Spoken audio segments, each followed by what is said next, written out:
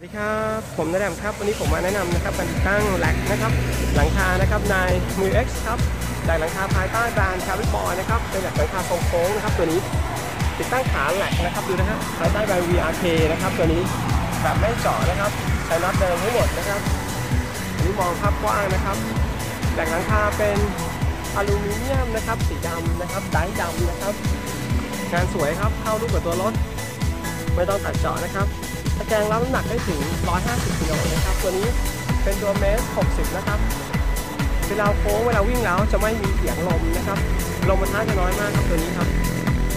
สำหรับลูกค้าท่านใดที่ใช้หรือนะครับ สนใจติดตั้งแหลกหลังคานะครับ สอบถามรายละเอียดเพิ่มเติมได้ที่น้าแดมครับ0812811259 ครับทักมาทาง ID Line ได้ที่เบอร์นี้เหมือนกันนะครับ ขอบคุณมากๆครับ